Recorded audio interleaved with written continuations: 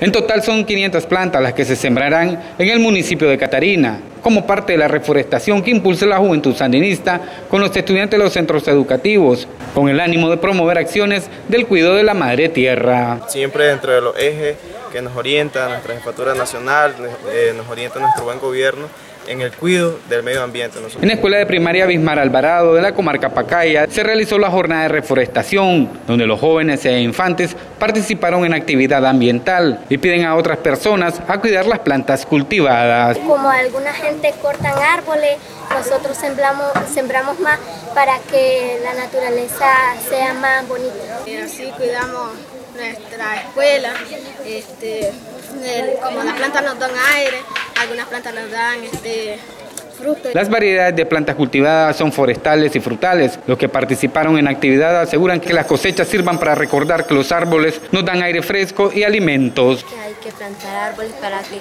nuestra naturaleza esté limpia y que y para que respiremos oxígeno. Y agradeciendo a nuestro gobierno por todos estos beneficios que tenemos, texto, eh, merienda escolar, y muy agradecido y pidiéndole a Dios que nuestro país llegue a la paz y a la reconciliación, que es nuestro lema y nuestro trabajo. En las próximas jornadas la reforestación se extenderá hasta la ladera de la laguna de apoyo. Desde Macaya les informó Alan Gutiérrez Paniagua.